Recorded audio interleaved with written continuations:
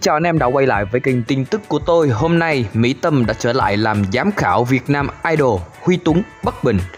Tối ngày 5 tháng 7, chương trình thần tượng âm nhạc Việt Nam Việt Nam Idol 2023 đã trở lại sau 7 năm với dàn giám khảo gồm ca sĩ Mỹ Tâm, đạo diễn Nguyễn Quang Dũng, nhạc sĩ Huy Tuấn.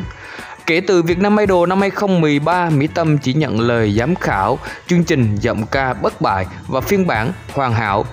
Thay vào đó, nữ ca sĩ tập trung cho các dự án âm nhạc riêng của mình và Mỹ Tâm cho biết đồng ý ngồi ghế nóng Việt Nam Idol năm 2023 vì có thời gian rảnh sau khi hoàn thành các dự án của mình.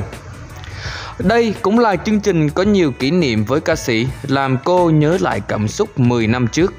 Giám khảo nhạc sĩ Huy Túng được cho là người sẽ bảo chứng chất lượng cho Việt Nam Idol năm 2023 với kiến thức âm nhạc và kinh nghiệm làm nghề sĩ hài hước để lại bình luận thể hiện sự bất bình ở bài viết công bố ban giám khảo chương trình trên mạng xã hội khi sự trở lại của Mỹ Tâm nhận nhiều sự chú ý.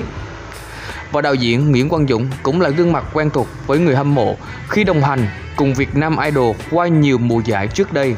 Với kinh nghiệm của mình thì ban giám khảo, bạn trai, ca sĩ Bùi Lan Hương được ban giám khảo đặt niềm tin sẽ hỗ trợ thí sinh về nhiều mặt kể từ thời điểm công bố và tổ chức tuyển sinh Việt Nam Idol năm 2023 thu hút 5.000 hồ sơ đăng ký tham gia và tham dự và đã tìm ra những thí sinh sẽ tham gia mùa giải năm nay.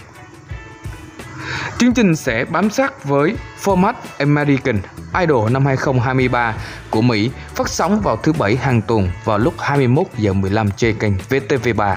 Anh em có kỷ niệm gì về cái chương trình Việt Nam Idol này? Nhưng với AD thì rất là có nhiều kỷ niệm. Những ca sĩ hiện tại trẻ thì cũng từ đây mà ra mà thôi.